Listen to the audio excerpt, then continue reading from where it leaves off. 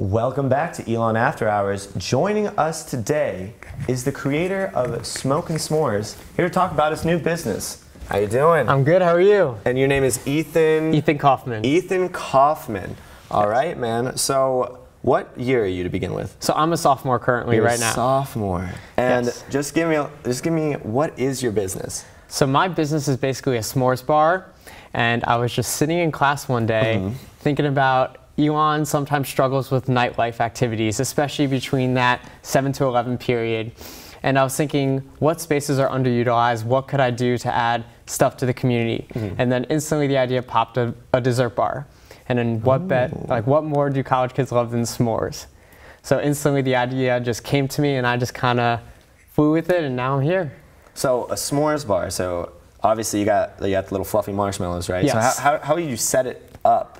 Like, are you making it like an elegant, like, I don't know how to make a s'mores. a s'more elegant, like a, yeah. So when everyone, so when anyone comes in, they'll Okay. pay per person. They'll come in their group, and what they'll do is they'll sit down at a table, and what we'll do is we'll bring a personal s'mores tray and a personal s'mores fire pit, and we'll light it for you. It'll be lit for 15 to 30 minutes, and you're just gonna make as many up to five s'mores. What is a mini fire kit, kit or place? So it's like a mini fire, like cast iron grill. So what it is, it's like I Oh. don't know if you've ever seen those poo-poo platters with like the little compartments and they spin. I but have not. there's like a little um, cast iron grill that's usually used for hibachi, but they also use them for Oh. for s'mores. So like the little sterno gel that they have at events, you put that Yeah. in the cast iron grill, light it, and it's this cool little blue flame that comes up, and then it's perfect, indoor safe, environmentally friendly. So it's perfect for something like indoor Oh oak house. Have this all worked out.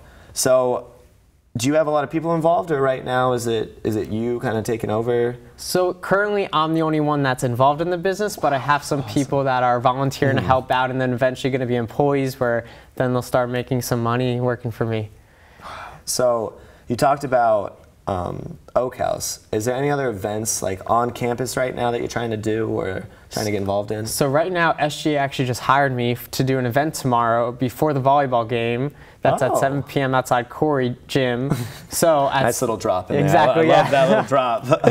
But at 6 p.m., there's going to be free pizza, free s'more set up for the next hour before the game. So that's definitely going to be great, just having the mm. first opening event there. And then I'm hoping to also get some sororities involved, do sisterhood events, but also if Campus Rec ever wants something with s'mores or any other organization, I can definitely do some catering and food vendor type stuff as well.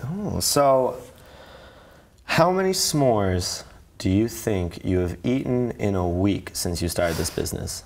It's very hard not to touch the inventory that's like sitting in my room right now. I'll tell you that. But I've done a couple taste tests, Mm-hmm. especially with the specialty s'mores with the Reese's, and I've probably had five one week. Oh, so, they you're, you are getting fancy with I these am getting a little fancy. Yeah, we have four different flavors right now. So Oh. we have the classic with just the milk chocolate Hershey Mhm, of course, of course. Then we have um, Reese's peanut butter cups. Then we have the cookies and cream Hershey bars, and we have peppermint patties. All right, well, I am going to be anywhere you guys are going to be and enjoying that Reese's peanut butter cup s'more. I don't know how I could, I was like, Reese's peanut butter cup s'more. Okay, anyways.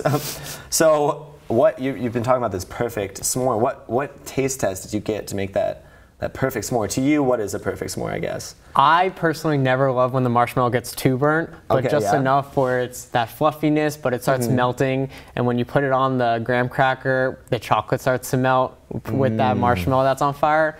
But just in case, if anyone ever wanted to toast their um, graham crackers and melt the chocolate, I, they have tongs per table. So what you do is after you get your s'more, you take the tongs, you pick up your s'more, and you hold it over the little fire, and you get to toast the graham cracker and melt the chocolate. So, like, there's pretty much not a big mess involved either in this. There. Uh, not at all. Oh, so that's classy. I love that. So tell me about how you created your own business. I know you talked about like how you thought about it, but how did you actually get to the point of like I'm doing this business, it is now starting, like you're already getting involved. Mm-hmm. That's awesome. So my dad's in business too, so he was a mm-hmm. huge help with us all. I would call him constantly, maybe a couple times a day. My mom would pick up and be like, "Can- "Can you put dad on, please?" And mm-hmm. she'd like laugh.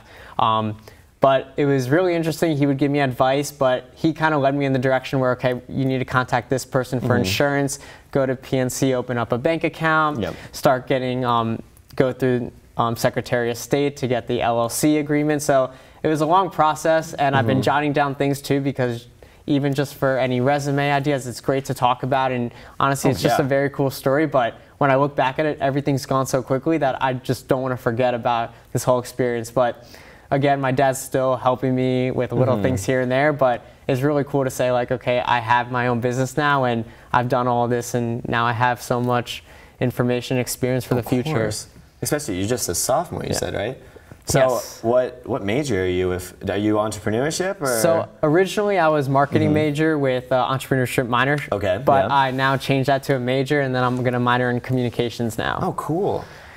Oh, what what made you change to the communications minor? Just kind of like well, communicating obviously to. Exactly, but also just more that public relations side, and Mm-hmm. Yeah. just to have that more communications background. I love like the com design side Mm-hmm. of it as well, and especially for photoshopping things, for even for the business itself, or Instagram posts and other Facebook pictures. It's just great to have that background, especially. Do you have like a, a little logo or anything that We you've do. worked on?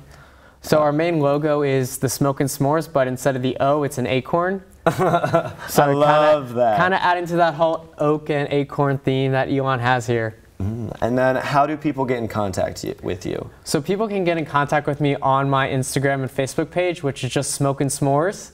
And it's very easy to find. And Awesome. Mm-hmm. again, we're ha- already having a ton of followers, which is great. And just liking the Facebook page is great. And you can e- easily send a message to us and get in contact if you're interested in having an event.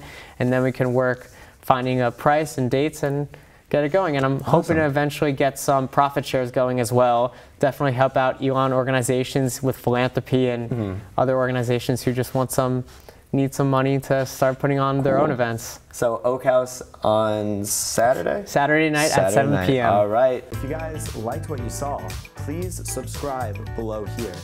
You can also follow us at Elon After Hours on Facebook, Instagram, and Twitter.